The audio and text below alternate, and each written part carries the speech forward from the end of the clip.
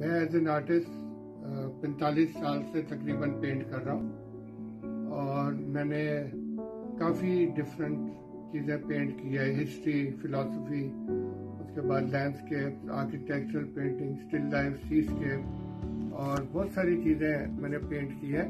और अक्सर मुझे लोग पूछते हैं कि मेरी इंस्पिरेशन क्या है? तो मैं लोगों को बताता हूँ कि अल्लाह ताला का एक नाम है अल मुसफ़र जो सबसे बड़े आर्टिस्ट हैं, मैं उनसे इंस्पायर होता हूँ।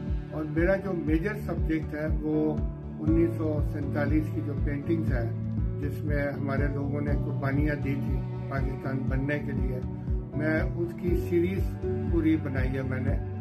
और उनमें कुछ पेंटिंग मैंने जो मर्द, औरत और बच्चे शहीद हो गए थे, उनकी याद में पेंट की है। और कुछ मैंने ऐसी बनाई है जो काफले जब थक कर दरख्त के नीचे आराम करते थे, मैंने वो सीन पेंट किया है। फिर मैंने बर्निंग ट्रेन पेंट किया है। फिर मैंने लास्ट बर्निंग ट्रेन पेंट किया है। फिर फ्लैग ऑफ़ इंडिपेंडेंस बनाया है। तो मैंने इस तरह जो struggle for creation of Pakistan है, उसकी पूरी सीरीज़ बनाई है। क्योंकि मैं समझता हूँ कि जब तक एक मुल्क की हिस्ट्री कोई सही तरह नहीं पेंट करेंगे और जो नौजवान नस्ल है, वो उनको देखेंगे नहीं तो उनको क्या इंस्पिरेशन मिलेगी मुल्क के बारे में? और मैं समझता हूँ कि ये पेंटिंग देखकर हो सकता है कि जो नौजवान नस्ल है, वो थोड़ा मुल्क को बेहतर तरीके से समझेंगे और ज़्यादा इज़्ज़त करेंगे मुल्क की। क्योंकि इतने लोगों का खून पसीना इस ज़मीन में चला गया था, इस मुल्क बनने में। तो दूसरा मेरा मेजर सब्जेक्ट है, वो इलामा इकबाल का जो जवेदनामा है, वो मैंने 1982 में कंप्लीट किया था, क्योंकि हमारे जो शायर थे इलामा इकबाल नेशनल पोइट थे, उनकी बड़ी ख्वाहिश थी कि कोई ये काम पे, काम को पेंट करे।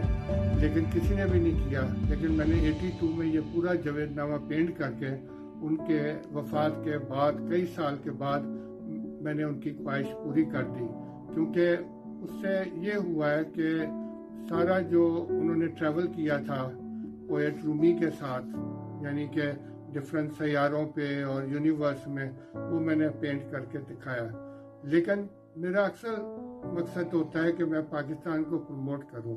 सारी दुनिया में मैंने नुमाइशें की है और मैंने अपने पेंटिंग्स के थ्रू पाकिस्तान को प्रमोट किया उसका पॉजिटिव इमेज जो है, उसको शो किया इसलिए शो किया कि बाहर के मुल्कों में एक नेगेटिव परसेप्शन है, हमारे मुल्क के बारे में।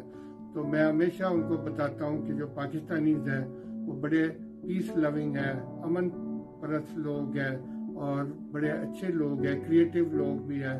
तो इसीलिए मैं नुमाइशें ज़्यादातर बाहर के मुल्कों में करता था कि मैं हमारी प्रोजेक्शन एक पॉजिटिव तरीके से कर सकूँ। लेकिन मैं अपने आप को वैसे पाकिस्तान का नौकर कहता हूँ। I call myself servant of Pakistan और सिर्फ़ मैंने मुल्क के लिए काम किया है एज एन आर्टिस्ट और as a social worker also मैंने काफ़ी काम किया है।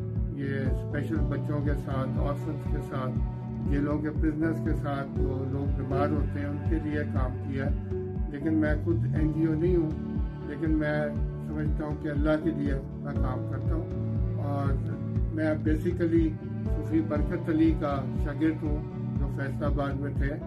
और उन्होंने मुझे समझाया था कि मुझे सिर्फ़ इस मुल्क की खिदमत करनी है दैट्स ऑल